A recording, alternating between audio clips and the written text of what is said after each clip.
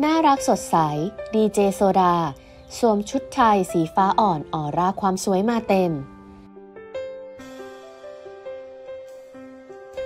ต้องบอกเลยว่าเป็นอีกหนึ่งสาวสวยที่หลายคนรู้จักกันดี โดยเฉพาะหนุ่มๆ นั่นก็คือดีเจโซดา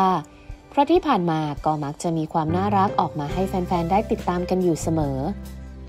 แต่ล่าสุดค่ะ ต้องบอกเลยว่ามีความสวยแปลกตามากๆ ราะเธอมาในชุดไทยสีฟ้าสดใส ทั้งสวย หวาน และก็ละมุนสุดๆ ไปเลยค่ะ ดีเจโซดาได้โพสต์ภาพ ระบุข้อความไว้ว่า ฉันดูเหมือนเจ้าหญิงไทยไหมทำเอาแฟนคลับหลายคนถึงกับเข้ามาคอมเมนต์ชื่นชมในความสวยของดีเจโซดา ที่ใส่ชุดไทยกันเพียบเลยทีเดียวค่ะ